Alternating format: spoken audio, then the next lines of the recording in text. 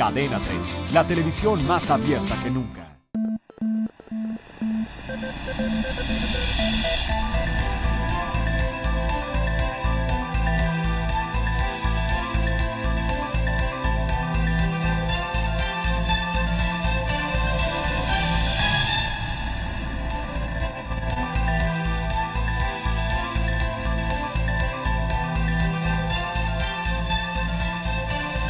Tal? Muy buenas noches. Soy Pascal Beltrán del Río. Le doy la bienvenida a Círculo de Ideas. En esta ocasión me acompañan Pablo Iriart. Hola, Pablo. ¿Qué tal? Buenas noches. Francisco Sea. ¿Qué Pascal? ¿Cómo estás, compañeros? Buenas noches. Humberto Musaquio. Buenas noches. Ángel Verdugo. Buenas noches. José Buendía. Buenas noches, ¿cómo están? Y José Luis Vargas. Buenas noches. La división entre senadores del Partido Acción Nacional se hace cada día más profunda y los ataques entre ellos son noticia en todos los medios de comunicación. En un ejercicio de correlación de fuerzas, ¿quiénes piensan ustedes que está ganando la partida? ¿El grupo de Gustavo Madero o el de Ernesto Cordero? Pepe, buen día.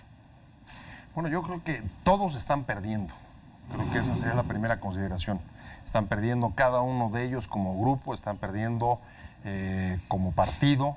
Y creo que más allá incluso está perdiendo eh, la institucionalidad del propio Senado frente a lo que estamos viendo. Si alguna cosa positiva creo que pueda tener este episodio del grupo parlamentario del PAN en el Senado es que está, creo que, funcionando como una especie de cámara de rayos X para dejarnos ver hasta el hueso algunas de las peores prácticas que se han enquistado en la clase política de este país. El que es manejo del dinero. ¿no? el manejo Sin del dinero, criterios de transparencia y Exactamente. de rendición de cuentas. opacidad, eh, privilegios para extraer rentas, rentas que se extraen para hacer política o para cuidar a los cuates, eh, cierta tribalización, el manejo en función de intereses de grupo, independientemente de la institución. Eh, desde luego una falta de compromiso, ya no solo con la transparencia y la rendición de cuentas, sino creo que te diría incluso con la democracia, porque en el fondo esto creo que está eh, transmitiéndose como un auténtico desdén a los ciudadanos que votaron por ellos, porque en ningún momento creo que se están eh, tomando en cuenta. Y esto, desde luego, eh, lo meritorio, quizá, de, de este terrible episodio es que eh, pone al descubierto no solamente estas prácticas que no son privativas de Acción Nacional, sino que se reproducen en los distintos grupos parlamentarios. El manejo de los 200 millones en Acción Nacional, con otra proporción, según los votos que cada partido obtiene, se reproduce igualito en el PRI, en el PRD, en el PT, etcétera, etcétera, en la Cámara de Diputados, en los congresos locales, en la Asamblea Legislativa del Distrito Federal. A mí me tocó estar en la Junta de Gobierno de la Asamblea Legislativa y la verdad es que el nivel de discrecionalidad con el que se manejan ahí los recursos, como en todos los otros espacios, es impresionante. Pablo, bien eh, decía Pepe Buendía, esto es algo que no se había visto en la Acción Nacional y no se había visto tampoco en el Senado de la República. ¿Qué está pasando? Sí, no, yo creo que no se había visto en Acción Nacional y, y aunque sé que los demás partidos tienen las mismas prácticas, yo no lo había visto tampoco en los otros partidos. Eh, no me extraña que lo tengan. Pero ahora Acción Nacional, el partido que era diferente, el partido que era un referente de la legalidad, de la rectitud, de la honradez, expresión de abogados probos, que ser panista era una, una manera de ser, ya dejó de serlo. Ese partido Acción Nacional ya no existe, con lo que nos estamos viendo ahora en el Senado. Lo que vemos es un partido tocado por la codicia y tocado por el oportunismo. ¿Por qué el oportunismo? Además de la codicia, que ya lo hemos visto hasta la saciedad. Gen- gente recién llegada peleándose por el dinero, apuñaladas por 200 millones, hasta el Ministerio Público intervino.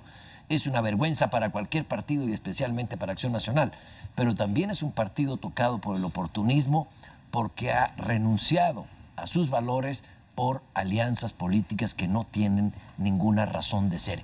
¿Cómo me explica el PAN sus alianzas con el PRD en estados donde no gobierna el PRI? Cuando comenzaron estas alianzas se decía, y era una lógica, para que el PRI ya no gobierne en tal estado que lleva 70 años gobernando, vamos a ir juntos. Pero a ver, explíquenme las alianzas ahora. Baja California. En Baja California. Es una eh, coalición en- de en izquierdecha. Eh, Entonces, con- exacto, con partidos que no tienen ninguna, eh, no tienen punto de contacto. Aquí el PRD recibió a una delegación de los partidarios de Hugo Chávez, parlamentarios de Hugo Chávez, muy bien, el PRD lo puede hacer. ¿Qué hace el PAN ligado a ellos? Y ahí estaban en el PRD recibiendo a los parlamentarios de Chávez, la diputada esta que agredió, según yo agredió, pues orquestó todo contra Giovanni Sánchez, la bloguera cubana que vino a México hace, hace un par de meses. ¿Qué hace el PAN aliado con ellos? No lo pueden explicar, ni lo van a explicar nunca porque es oportunismo. Creo que Acción Nacional está tocado mucho más de lo que se ve por la codicia y por el oportunismo. Paco, ¿cómo llega el PAN este estado de cosas? bueno, yo creo que finalmente, en parte, eh, me parece que fue a Pablo en una entrevista que le dio Juan Ignacio Zavala, explicaba muy puntualmente por qué está así el PAN. El poder y el dinero los vino a podrir. Esa es la realidad de las cosas. Eh, es increíble lo que estamos viendo. Yo ya había utilizado el término, pero estamos acudiendo a la perredización del Partido Acción Nacional. Es verdaderamente terrible. Nada más faltan las pistolas, ¿no? Pues yo creo que ya las deben de tener, no las han sacado, ¿no? Yo creo que es una cuestión como de 15 minutos. Pero finalmente, ¿cómo llegan a esto? Pues precisamente por el enfrentamiento del poder. A veces el tener el poder, el estar en la presidencia de la República era ese pegamento que cohesionaba al Partido de Acción Nacional. Pero en el momento en que ya no hay poder, en que ya las arcas no están a su disposición para manejarlas, entonces sí se están, pero eh, de verdad se están peleando hasta el último centavo. Y eso es lo que estamos viendo. Estamos viendo además de toda una bola de cínicos, ¿no? Porque yo no sé si ustedes cuando les depositan ahí en Multiva, donde les depositen, van al cajero y de repente ven dos mil pesos más y empiezan verdaderamente a hacer una investigación exhaustiva de por qué tienen dos mil pesos. A lo mejor son viáticos, es un fondo extra, se equivocó el banco. Pero si de repente llegas al cajero y tienes 430 mil pesos de más, pues bueno, este, sí es una situación grave, ¿no? O sea, o lo regresas o hablas con alguien o preguntas qué fue lo que pasó. Que en todos los partidos está sucediendo, sí, está sucediendo en todos los partidos. ¿Quién está ganando? Entonces es la pregunta. ¿Cuál de las dos fracciones? Eh, pues está ganando la del PRI, porque el 7 de julio les van a dar una paliza, pero una paliza, y no creo que en el estado actual de cosas puedan ganar una sola elección. Creo que es, además de todo, cómo llegaron, como te digo, ¿no? En este tipo de peleas, llegaron al ya no tener el manejo de los recursos, al ya no poder sacar dinero de forma discrecional para hacer todas sus operaciones políticas y ahorita se están peleando lo único que hay y qué es lo que hay en donde más hay ese dinero discrecional que se maneja en las cámaras, tanto la de diputados como la de senadores y esa es la discusión y eso es lo que estamos teniendo en este momento. Ángel, ahora que hablaba Paco, me acordaba yo de una famosa carta en el periódico Le Monde sobre la situación en el Partido Socialista francés diciendo, pues si entre ustedes no se quieren, yo por qué voy a votar por ustedes. Algo así le puede pasar al PAN en las Qué elecciones. buena frase, caray. ¿Qui- ¿Quién sabe? Yo creo que este tema lo hemos tocado en otros eh, programas ya. Eh, yo creo que esto es un, un tema muy de círculo hiperrojo, muy del ambiente este del Distrito Federal, donde se piensa que eh, no hay más temas de interés que los que aquí aporte la clase política en sus, eh, eh, en sus vergüenzas, con sus vergüenzas, pero en el resto del país, o al menos la parte que me ha tocado en estos últimos eh, 10 días, 12 días, dos semanas de, de recorrer o visitar por razones familiares, el tema no es este. ¿eh? Y no creo que esté muy alejado de otras partes del país. Es decir, puedo darles a ustedes tres o cuatro estados donde el problema es, por ejemplo, la sequía donde hay un problema grave para el siguiente ciclo agrícola, donde ya se espera la siembra en un distrito de riego de 30 o 40% menos superficie porque no hay agua. Y los pronósticos que hay son totalmente negativos o no, no positivos, no optimistas. Y así nos vamos a otros estados donde las, por sus características productivas, un estado que sea productor de cárnicos y, la caída en la demanda, etcétera, etcétera, pero este, este tema no ocupa a, las personas o a la sociedad, vamos a decir, eh, con la virulencia que aquí se da, en el círculo en que, guardando las diferencias entre cada uno de nosotros, es el ambiente en el que nos movemos, por razones de trabajar en los medios. ¿no? Entonces, yo creo que eh, difícilmente se podría encontrar una correlación positiva en el sentido de lo que está pasando en el edificio del PAN. Bueno, hace tres o cuatro días eh, intervino el Ministerio Público, es decir, ya hubo un salto cualitativo. Una en- de despojo. de despojo, además, ¿no? Lo señaló creo que hace el jueves o miércoles en la noche o jueves eh, el, el coordinador, el nuevo coordinador de la bancada. Entonces, ya rebasamos eh, los niveles, ya el, el- el agua que estaba calentándose ya ahora es vapor de agua, es decir, cambió a otro estado. Es delito. Pero mm, bueno, habrá que ver, la autoridad Digo, judicial será de la que- delito. Así es, será, así es. Entonces, yo creo que difícilmente la gente en municipios o en algunos distritos locales va a emitir su voto en función de lo que pase a mil o a dos mil kilómetros. Yo creo, como decía el viejo lobo político del Partido Demócrata tipo Nil, toda política es local y más en las elecciones que tienen que ver con la vida diaria de los ciudadanos. Gracias, Ángel. Humberto Busaque, ¿cómo ves el tema del PAN? Bueno, es evidente que lo que estamos presenciando entre los senadores panistas es una pelea por el botín. Eh, Es un asunto de pesos y centavos, y muchos pesos. ¿eh? Por eso será botón, más bien. ¿no? No es botín, es El botón. botón. Eh, creo que esta división es la herencia nefasta que le deja al PAN el señor Felipe Calderón. Felipe Calderón metió a todos sus compinches al Senado para garantizarles seis años más de buenos sueldos, de prestaciones. Eh, y ahora lo estamos viendo, ese grupo se está revelando y Felipe Calderón, aunque se mantiene aparentemente al margen del pleito, está muy informado, está al día de lo que ocurre ahí, eh, le reportan todos los días lo que está pasando eh, y no es inocente, no está al margen. eh, creo que van derechito a la destrucción de su partido, o por lo menos a reducirlo a un partido testimonial. No es esta hasta ahora la, la mayor guerrita interna del, del PAN. Eh, recuerden ustedes que hace algunos años salieron Bernardo Batis, González Schmal, eh, Pablo Emilio Madero, que había sido presidente del partido y Ortiz candidato Gallegos. presidencial, Ortiz Gallegos, en fin, panistas de cepa, eh, panistas de, de una gran tradición, de una gran influencia dentro de su partido, y salieron, fueron derrotados en la batalla política y salieron. Pero salieron cuando no estaba de por medio el pleito por el dinero, que hoy es cada vez más escandaloso.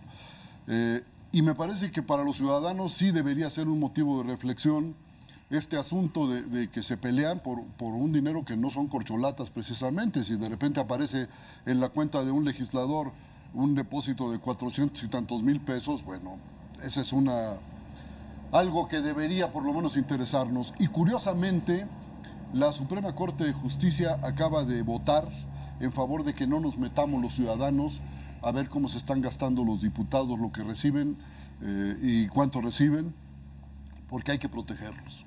Hay que proteger el secreto de los funcionarios y a los ciudadanos que nos parta un rayo.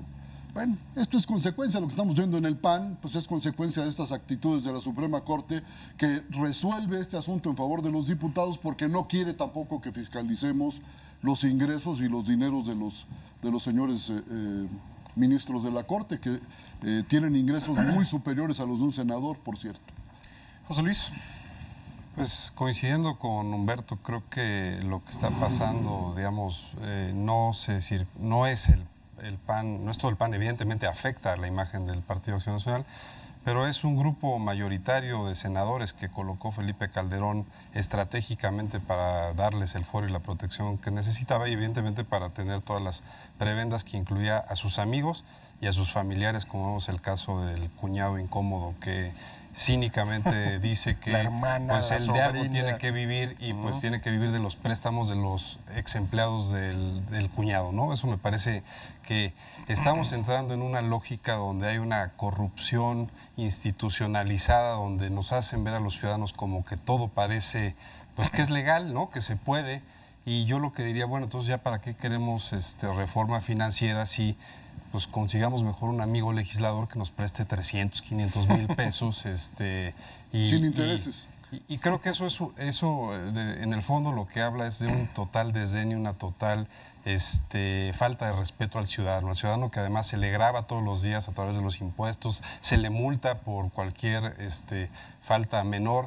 Y vemos este tipo de impunidad, de privilegios, y vemos el cinismo con el cual además ni siquiera dicen lo vamos a devolver, ¿no? Es decir, eh, Y déjenme siempre una cosa, es decir, esa- esas partidas siempre han existido, esas partidas, los propios legisladores saben que es un dinero que lo pueden utilizar para eh, cuestiones como estrictamente lo electoral, que en este caso estaríamos hablando de financiamiento ilegal porque no es reportado a través de los topes de, campaña de una elección, pero sería el mejor escenario, digamos, lo utilizan para un fin del partido o se lo pueden guardar estrictamente para sus chicles. Es decir, hay esa Porque potestad, impide, ¿no? porque no hay, no hay obligación de rendición de, cuentas y de comprobarlo. Entonces, verdaderamente es una práctica que no es, no es exclusiva del PAN, es de todos los partidos y de las dos principales cámaras, o sea, de las cámaras de senadores y diputados, y que desafortunadamente la clase política tan pueril que tenemos no dice, eh, no tiene un acto y un gesto de valentía para acabar con eso. Ángel, tú querías. Muy, muy rápidamente nomás.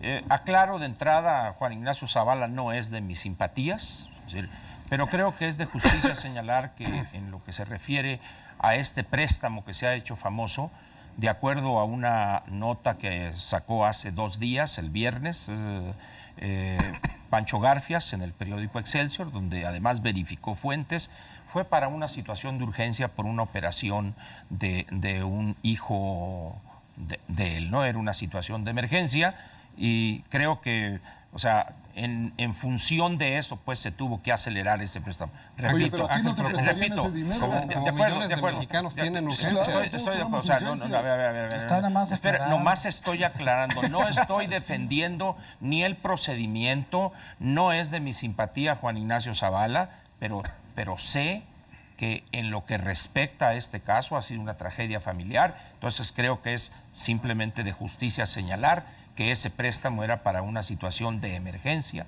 por una cuestión familiar, Las nada fue- más. Pero fíjate cómo cambian las cosas. A Lujambio, también gran amigo, lo mandaron a Estados Unidos a curarlo del cáncer a cargo de todos los mexicanos cuando eso no debía de ser.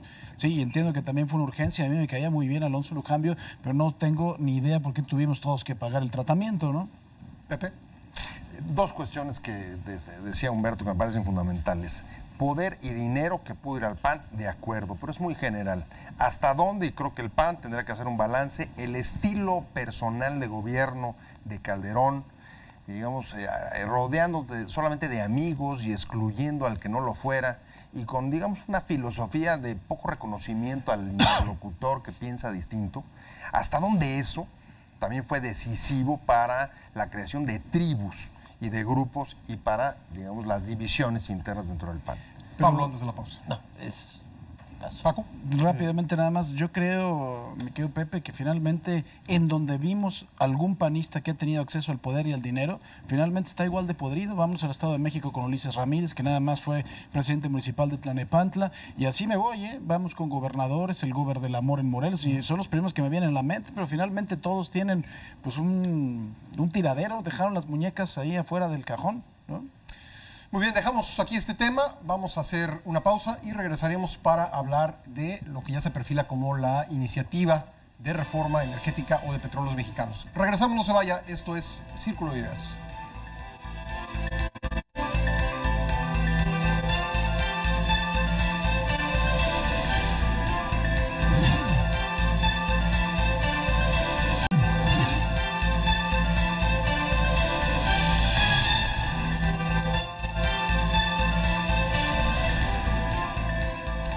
Regresamos a Círculo de Ideas. El presidente Enrique Peña Nieto ha dicho en varios foros y de distintas maneras que modernizar Pemex no significa privatizarlo, pero al parecer no le creen porque algunos sectores de opinión y eh, particularmente en los partidos de izquierda pues parece estar convencidos de que se está maquinando una maniobra justamente para privatizar la paraestatal. ¿Qué debe hacer el presidente para convencer a la opinión pública de que este es un cambio necesario? Humberto Bosaquio. Ninguna empresa petrolera en el mundo es ordeñada por el fisco como Pemex. Ninguna. PDVSA. ¿Cuál? PDVSA. PDVSA. Lo- peor que mucho aquí. peor. Peor que aquí. Pero eso no es, no es- no es ordeñada directamente por el fisco, creo que es otra, es un robo, otra toda manera de, de- de Corrijo. explotar esa, esa empresa. Y el asunto es que si está aportando Pemex, que es la tercera parte del, 33, de los recursos 34% fiscales, de ingreso del erario. bueno, pues difícilmente le va a quedar algo para recapitalizarse.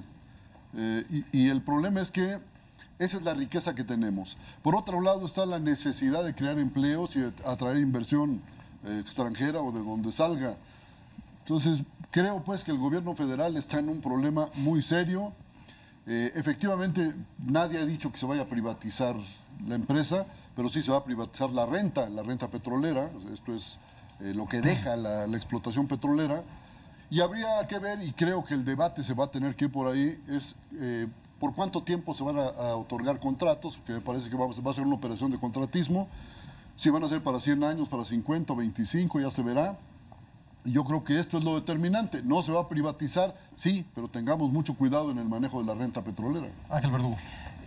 Yo creo, y con todo respeto a lo que dice Humberto, pero yo creo que se evade el elemento central.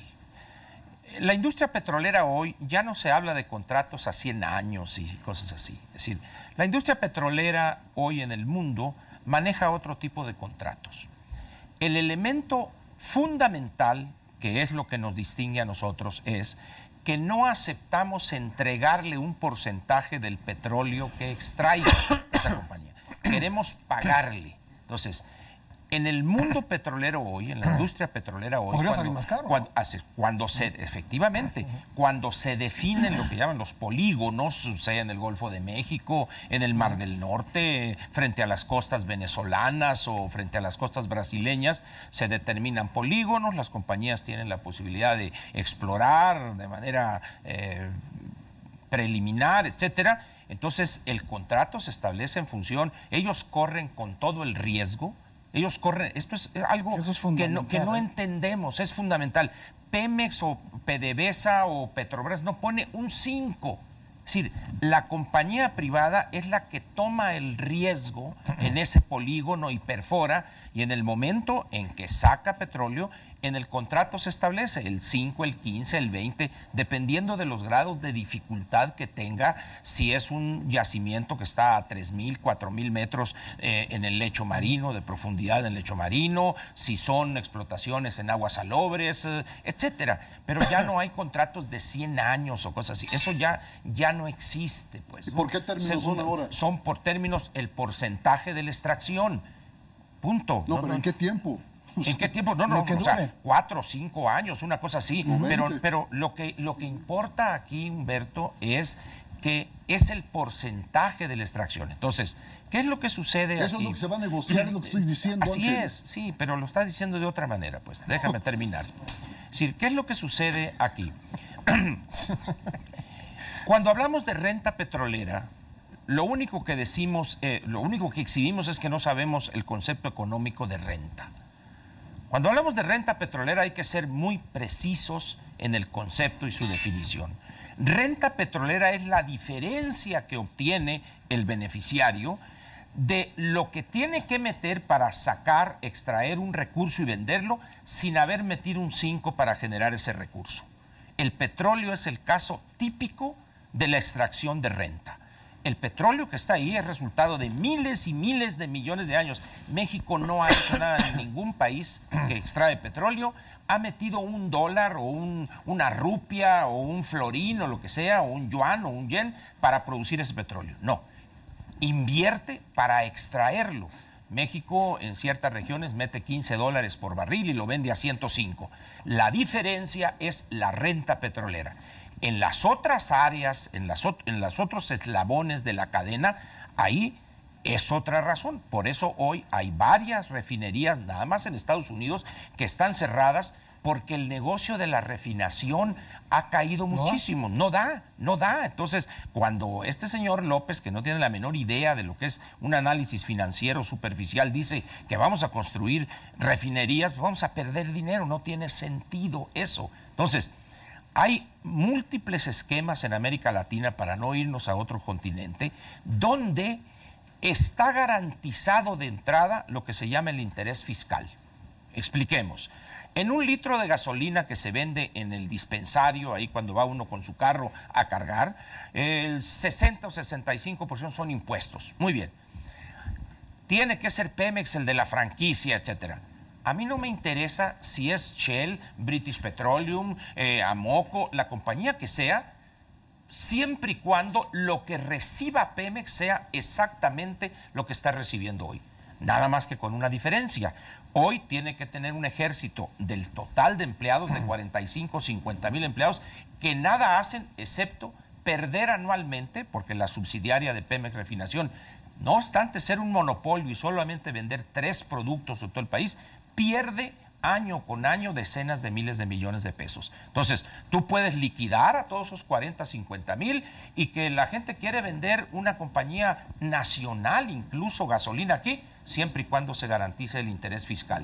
Tú quieres meter gasolina aquí a México, no hay ningún Eso problema. es inaceptable, Por- Ángel. No, no, no. Las decisiones Espera, políticas espera, no se toman así como si fueran eso, una eso, empresa. El Estado no es una empresa. Humberto, estoy de acuerdo. Pemex no es una consideraciones empresa. sociales. Pemex no es una empresa, es una oficina recaudadora de impuestos. Y las mejores condiciones sociales, en este caso, son obtener el mayor retorno con el menor egreso para beneficiar los programas sociales. Y la posición que tú tienes lo único que hace es generar más corrupción, más ineficiencia, porque ahorita, aunque no lo quieras aceptar o lo desconozcas, Pemex prácticamente es una empresa quebrada, simplemente, y te lo puede confirmar él, con el pasivo la- laboral que tiene por sus pensiones. Es una empresa que si no cambia, le va a suceder lo que los dinosaurios, va a desaparecer. Pablo. Pero yo me temo mucho que la discusión no se vaya por el, por el lado de los argumentos, ahora que viene el debate energético, sino por los clichés, por los lugares comunes, que yo lo único que le pido a la gente de la izquierda, a quienes están eh, en contra de la apertura de Pemex, en contra de la apertura del mercado energético, díganme un solo país, Ninguno. un solo país donde vaya la compañía petrolera sola a aguas profundas. No hay ninguno. Ninguno. Hay, No, no hay eh, ninguno. Recientemente Corea del Norte se acaba de asociar con una Por supuesto. Ni uno. Ni un país va. Y nosotros tenemos, acaba de descubrir la faja de plegado perdido cerca de la, eh, la costa de Tamaulipas, un poco hacia adentro. Y bueno, se necesitan para poder desarrollar plegado perdido unos 70, 77 pozos petroleros al año. Al año. La capacidad de Pemex en su mejor año, que fue 2012, es perforar cuatro pozos petroleros. Es decir, no podemos solo. ¿Cómo hacer? La pregunta de fondo es, ¿cómo hacer para que la riqueza petrolera que tenemos vaya en beneficio de los mexicanos? Ahí tendría que centrarse la discusión. Pero lo que yo me temo mucho que se va a ir es la reforma petrolera como un pretexto para ver quién toma el liderazgo de la izquierda. Si lo va a tomar López Obrador gritando más, si lo va a tomar Marcelo Ebrard con estos retos a debate y el pobre Mancera que está ahí, que también dice estoy en contra de la privatización de Pemex, pero va a tener que cuidar la ciudad, que no se la pongan de, pongan de cabeza los otros dos que sí tienen cómo ponérsela de cabeza. Creo que estamos ante el riesgo, bueno, ante- no ante el riesgo, sino que un sector de la opinión pública se va a ir por los clichés y, las, eh, y los lugares comunes. Sin embargo, hay dos candidatos. Enrique Peña Nieto en su libro, en el libro que presentó como programa de campaña, dijo que se abriría la industria petrolera a, los, a la inversión privada. Lo mismo dice Josefina Vázquez Mota. Entre los dos suman el 70 por 50-70% de los votos y el que dijo que no suma 32%. ¿Y por qué niega Peña Nieto que se vaya a privatizar? Perdón, es una Porque no pregunta. se va a ¿Privatizar qué? privatizar, ¿Privatizar qué? Eh, eh, Pemex. No se va a No, que Pemex no se va a privatizar, privatizar. Humberto. Asociarte, asociarte con otras empresas para ir a aguas petrolera, profundas. pues, sí. No se va a No, no, es que privatizar, la no es precisión Yo estoy preguntando nada más. Y- Y estoy contestando. pero no se va a privatizar lo imprivatizable, No, pues. no, no, a ver quién te compra Pemex. No, No, hombre. Este, te vas a asociar con otras compañías para poder ir a aguas profundas y también para sacar el shell gas, que por Así cierto es. los americanos están inundados de shell gas. Van a, ser, 35 van a mil ser autosuficientes, pero México también tenemos, ¿eh? Pues estamos en la México misma también parte, tenemos. nosotros cuatro Entonces sí, mundiales. la pregunta es cómo hacer que la riqueza que tenemos en el subsuelo sirva mejor a los mexicanos. Ese es el punto. Pascal, me- nomás un, segundo porque eso lo señaló el presidente Peña Nieto en la entrevista multicitada al Financial Times, donde dice, en una democracia no se trata de buscar la unanimidad, sino construir la mayoría necesaria. Por primera vez se habla, si hay la voluntad política, de que se buscará construir esa mayoría calificada en ambas cámaras y el que, como tú bien señalaste, el que dice que no, que se quede gritando no. José Luis. A ver, yo, yo partiría del aspecto que creo que estamos todavía en una discusión bastante irracional hasta no entender y hasta no conocer la reforma para saber si hay o no privatización. Yo creo que no la hay, pero pues lo que sí se habla es de una apertura al sector privado. El tema es un tema de gradualidad, en qué grado se va a abrir. Y eso es lo que todavía no se ha acabado de definir, todavía no hemos visto la iniciativa de ley. Creo que mientras eso exista, lo que se acaba generando es lo que bien señala Pablo, pues que es que estos oportunistas que ya están pensando en el 2018 del partido de izquierda, pues utilicen como este bandera y todo y, y- y no importa la materia, no importa lo, lo, este petrolero, lo que importa es el ánimo que eso exalta a determinados electores que ellos tienen y el posicionamiento político de en lo sucesivo en esta carrera para ver quién es de los el elegido de la izquierda para el 2018. Oye, pero todos, también la derecha está metida en ese jueguito, ¿no? Eh, La, la derecha, pues hace unos días dijo el senador, sin tener atribuciones, eh, Cordero dijo que ahí les dejaba a todos los legisladores del PAN, ahí se los ponía este, a Peña Nieto, para el presidente, para que tuviera este, Cordero ya le éxito. prometió los votos de los senadores Sin del PAN a Peña facultades, Nieto. Sin facultades, pero bueno, él, ya- él ya lo hizo. Y también de los diputados. Eh, y- dijo los Exacto, legisladores. los legisladores. Claro. Y el Pero segundo- dijo para qué. Para una reforma que vaya al fondo del asunto, que no sea cosmética y que incluya la reforma Es constitucional. que, es que quiere, es quiere el cargo de vicepresidente del país que se, se le está... O quizá de director de Pemex. El segundo aspecto que yo quería comentar, Pascal, a ver, a mí me parece un error estratégico y es muy común de los mexicanos salir al extranjero y querer hacer alarde de lo que sea. O sea, presidente Peña Nieto va con, las ocho, con los ocho países económicamente más poderosos del mundo y anuncia una reforma y anuncia una transformación que no sabe si se va a poder eh, gestar Porque en lo inmediato. votos, Y entonces, evidentemente, eso empieza a generar este, expectativas y empieza a generar una serie de cuestiones para voltear a ver a México cuando estamos enfrascados en el problema de qué entendemos por privatización. Creo que eso es un error y creo que se- nos estamos adelantando porque de cara a lo que a lo que se viene en septiembre, pues eso lo único que puede hacer es que eh, frente a otros temas que vienen como el presupuesto, como otro tipo de decisiones que tienen que salir en las cámaras, eso puede simplemente ser eh, un anuncio de algo que empiece a ser un parteaguas en vez de ser algo este, exitoso desde mi punto de vista. Paco. A ver, yo a mí sí me queda muy claro el término privatización. Se privatizó la banca cuando se había incorporado. Cualquier desincorporación de una empresa estatal a manos privadas totalmente, eso es una privatización. Lo demás es un falso debate. ¿no? el Consejo de Administración deja de ser un organismo de Estado. Exactamente. se vuelve se- actividad privada. o sea, a mí me queda eso perfectamente claro. Entonces, creo que una privatización no se va a dar por los argumentos que aquí, ¿quién diablos va a comprar petróleos mexicanos si es la empresa más ineficiente del mundo? ¿no?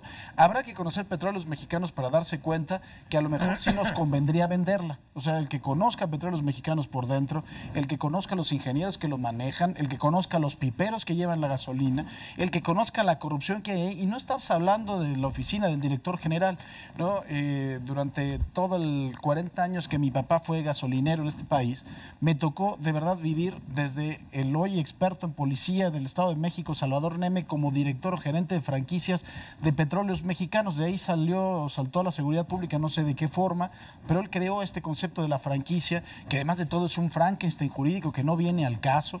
Tú de repente llegaba un pipero, oiga, ¿cuánto me da por esta pipa cargada de gasolina?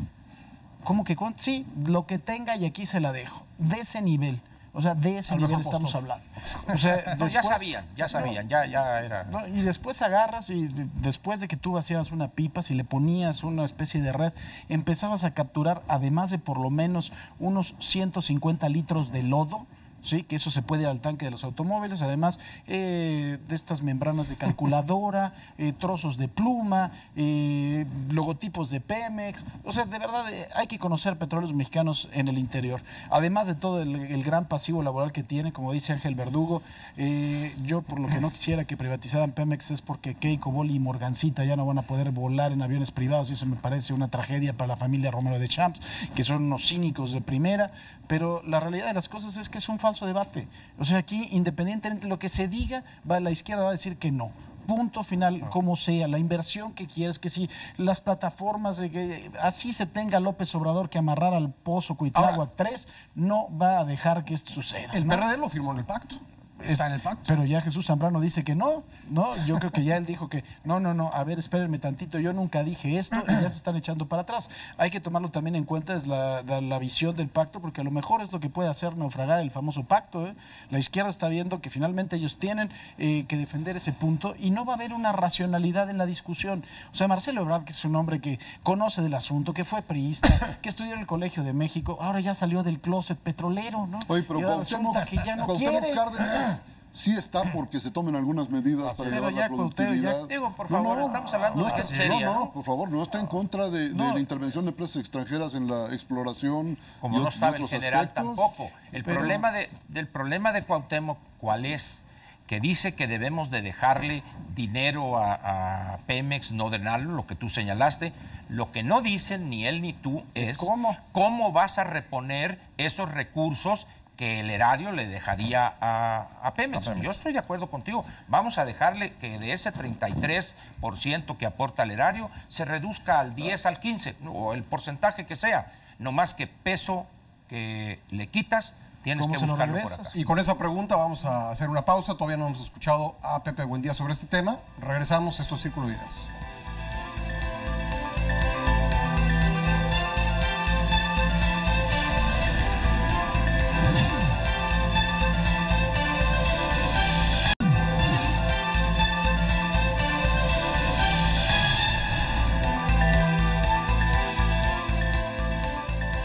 Regresamos a Círculo de Ideas. Estamos hablando sobre el anuncio de la inminente iniciativa para eh, reformar el marco de los energéticos en el país, particularmente el petróleo. Pepe, buen día, ¿cómo lo ves? Bueno, hay que recordar que desde luego este es el caballito de batalla de los últimos 10 años, no es nuevo. Hemos vivido ya reformas energéticas en los últimos años. Ahí está la reforma que se hizo en el gobierno de Calderón, donde se aprobaron los contratos de riesgo. Y yo creo que en, el- la actual, digamos, lo que estamos viviendo es el reto de tratar de situar la discusión donde debe de ponerse, que es, bueno, eh, es- es- esos cambios y esas reformas que se, que se dieron a, todas luces han sido insuficientes. Y qué se necesita ahora para tener, digamos, lo que, eh, y, y- y esa parte me alienta, para eh, tener una reforma, digamos, mucho más profunda y donde sí empiezo a ver muchas más coincidencias que lo que se ha dicho eh, eh, en la mesa. Me parece que el gran reto es lograr hacer una reforma que nos ponga, digamos, al día, mientras en otros países es una industria que se está despegando, tanto en el gas, ahí está Estados Unidos, que eh, está produciendo gas más barato que nosotros, incluso la recomendación de que se les compre a ellos, porque eso abarataría los costos de muchos empresarios. Yo sí veo algunas coincidencias que me parecen eh, importantes. La primera es, yo creo que ya nadie duda y a nadie estoy viendo que diga que no es necesario reformar la empresa. Creo que ese es un consenso. La divergencia en todo caso es qué tan profundo debe, debe de ser. Me parece que nadie duda ya en decir eh, que Pemex, el problema que tiene, y ahí también un consenso, es que no está funcionando realmente como una empresa, sino pues como una dependencia gubernamental. Algunos para decir que el problema de fondo es la corrupción, otros para decir que no ha generado el nivel de utilidades gerenciales para poder invertir y desarrollar tecnología, etcétera, etcétera, etcétera.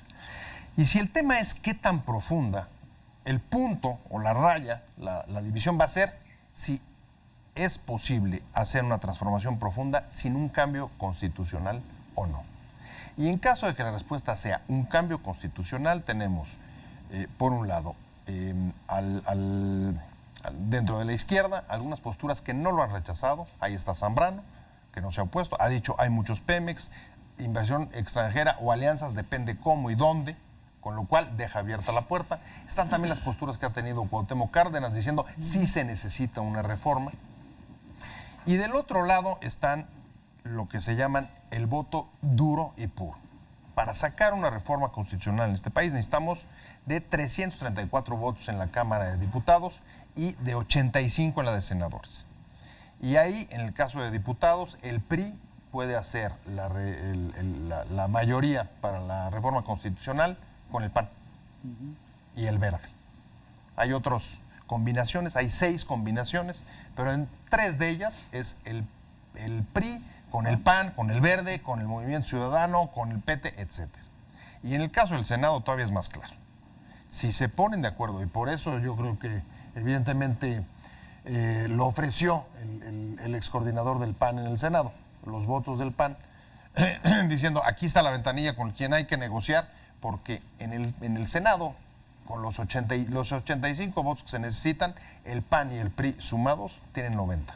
Es decir, una alianza PAN-PRI permitiría un cambio constitucional para Pemex. Eh, Pablo, eh, decía Paco Sea hace un momento que esto podría ser el final del pacto. Lo cierto es que es una iniciativa o un esbozo de la iniciativa que se presenta pues de una forma distinta a como se había presentado, que se discutía en el pacto, luego se daba a conocer. Ahora en, estas, eh, en estos medios internacionales se ha hecho el esbozo y la discusión se hace por fuera del pacto. ¿Tú, tú cómo ves esto?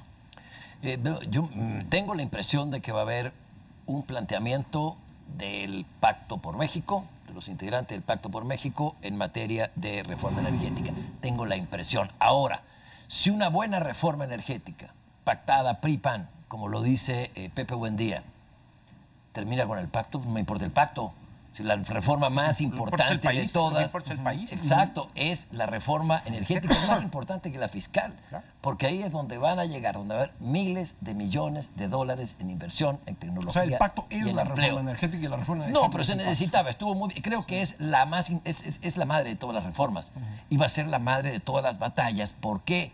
Porque un grupo eh, importante de la opinión pública que se expresa en el Partido de la Revolución Democrática y en los otros de la izquierda, pues en esos partidos sus liderazgos han visto esta reforma como la arena donde tomar el liderazgo de la izquierda. Hemos oído en estos días al ex jefe de gobierno, que es ex jefe de gobierno, es ex eh, presidente del PRI en el DF, ex secretario general de gobierno, ahora no es nada, retando a, re- a debate al presidente de la República sobre la reforma energética, porque dice, lo dijo en un tuit, Peña Nieto va a privatizar el Golfo de México. Es decir, cuando se lleva la discusión a esos niveles, es tan evidente que lo que importa no es México, sino su situación personal dentro de una corriente de, de- de partidos que me parece que hay que hacerles poco caso, aunque tiren piedras, aunque lancen bombas Molotov. Mancera tiene la responsabilidad de la ciudad, que lo haga, el presidente y los gobernadores también, pero la esta reforma es ahora o nunca, porque ya quedamos muy rezagados con respecto a nuestros competidores. Somos el único en el mundo. O sea, ¿no será que estamos equivocados? ¿No será que no entendemos que no se puede ir solo a aguas profundas? O sea, no hay ni la tecnología ni el dinero. Meterle un eh, perforar, pues no quiere decir que vas a encontrar petróleo. Tienes que hacer muchos, tienes que compartir riesgos y por tanto también tienes que compartir utilidades. Los frutos, claro. Es obvio. Y esto no lo digo yo, lo dijo el general Cárdenas. Así Por es. cierto.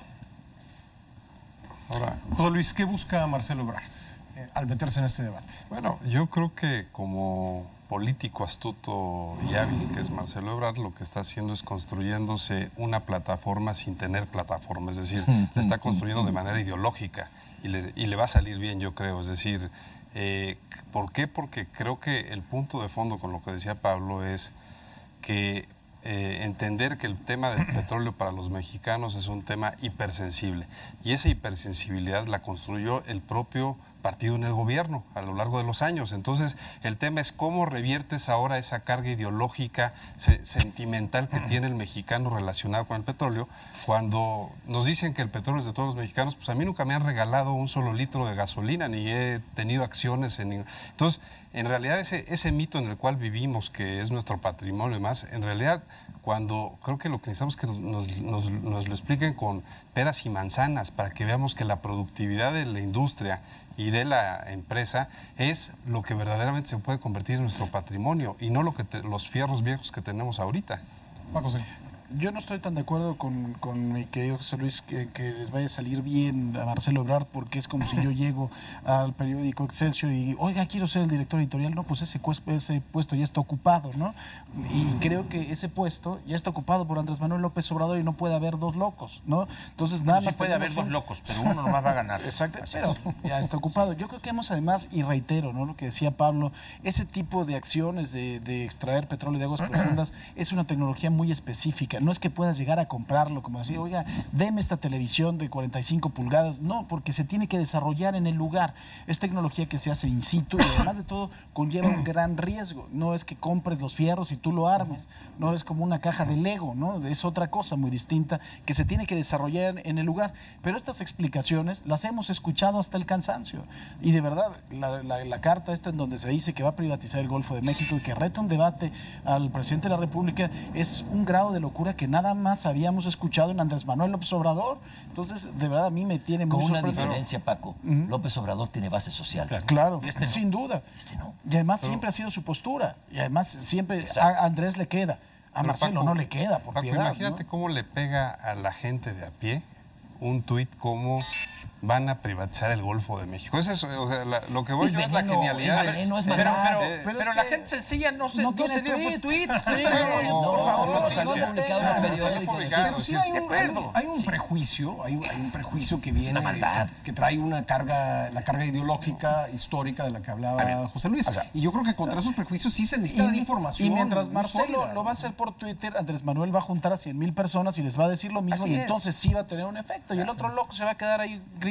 Aquí el- creo el, yo. problema que creo yo que, que sí es eh, real, existe, es eh, esa ideología, ese constructo sociológico del nacionalismo existe, revolucionario. Sí. Es decir, ahí sí no, no hay duda. Es decir, es evidente que el Estado mexicano, y con Cárdenas a la cabeza de este esfuerzo, lo, lo termina de construir en los años 30. No hay duda y todavía vemos en las escuelas, eh, es decir, el contenido educativo en mucho todavía es eh, una traducción o una actualización de ese nacionalismo Bueno, lo ves en. Periférico y Reforma. Así es, o sea, no hay ningún problema.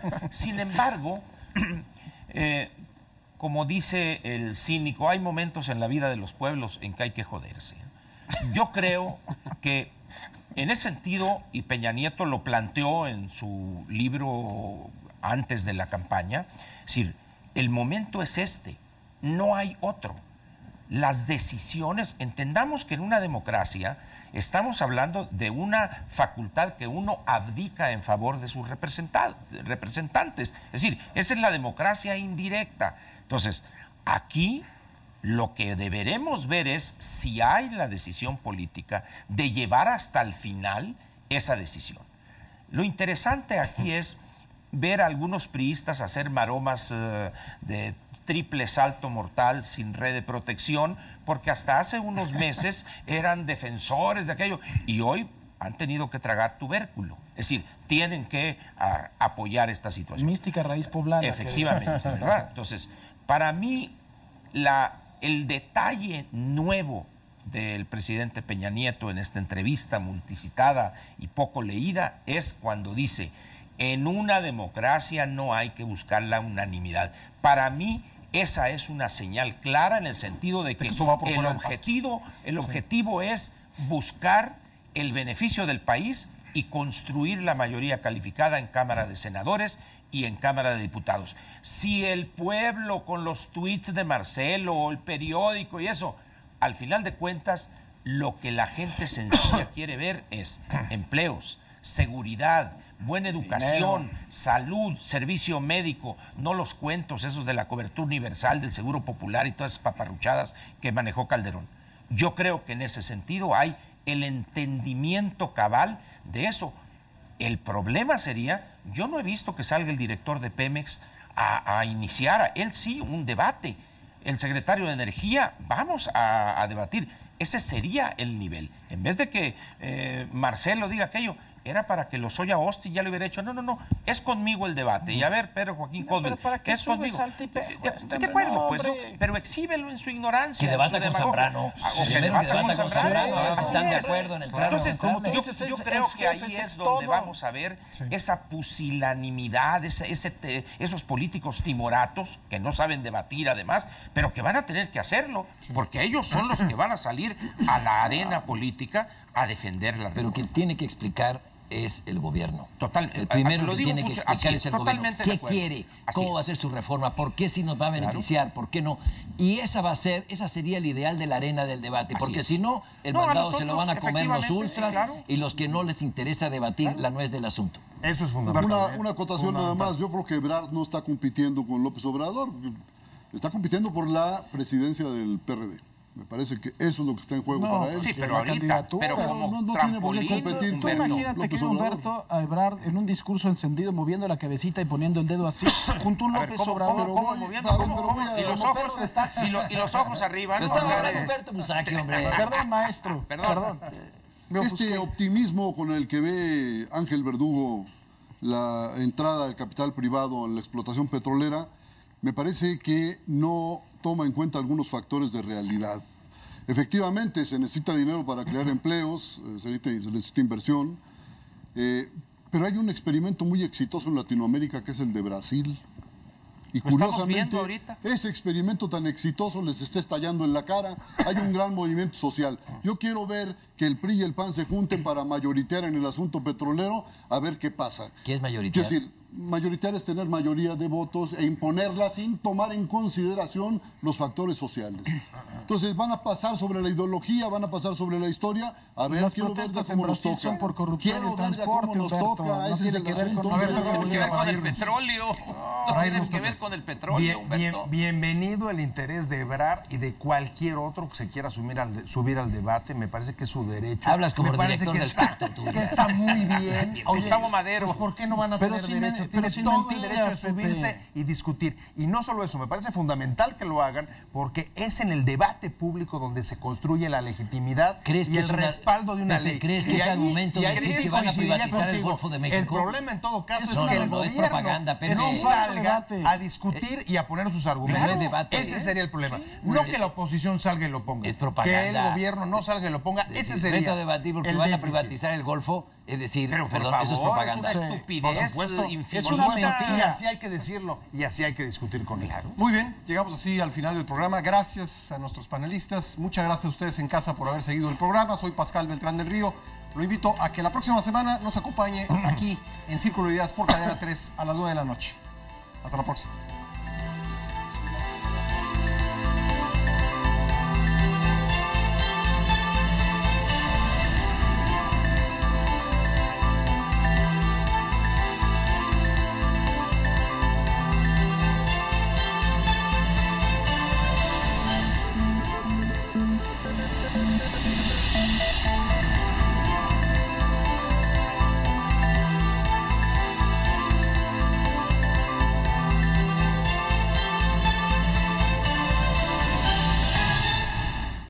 Cadena 30, la televisión más abierta que nunca.